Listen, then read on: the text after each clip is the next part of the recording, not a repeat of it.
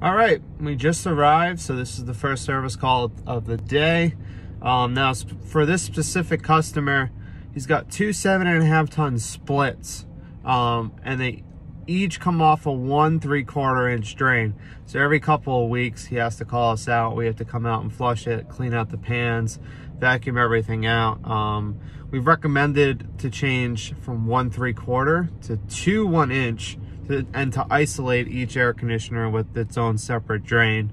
Um, and he's just running the place. He doesn't necessarily want to put the money into the repair. Um, so he does the bare minimum every time, but I'll show you guys kind of what we've done and what we do and how it's kind of set up, give you guys a good idea how to fix it. So flooded AC, that's where it is.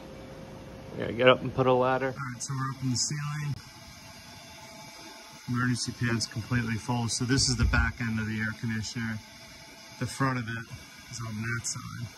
We're gonna take the water out of this pan and then I'm gonna clean the drain. Where did you connect that? There's a little hole in there? Yeah,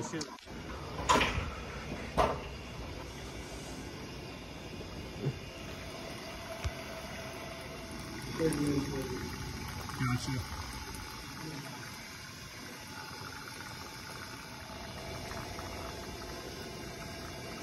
Now we're doing this side of the pan.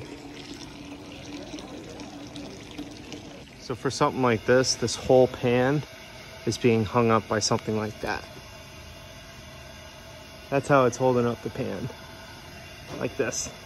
All right, so you have a seven and a half ton package unit. Right here.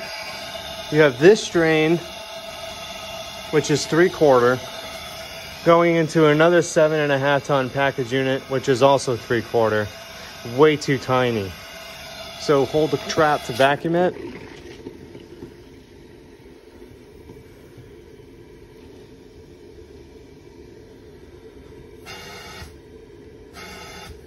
I got the vacuum set up outside.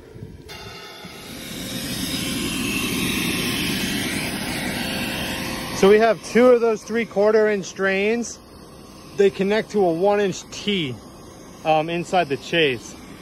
And it comes down into this pipe, which is the most ridiculous setup ever.